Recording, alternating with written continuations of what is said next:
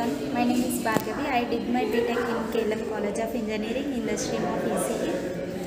Before joining the institute, I don't know any basics of Java and manual because of my background is ECE. After joining this institute, I got placed in Capgemini within two months. I built my communication skills and technical skills and also presentation classes and grooming session helped me to, to clear the interview. This institute gives us many opportunities to build our career in a right way. The trainers of this institute helps us in many ways and they treat us like a friends and they clear all our doubts in good way. Thank you.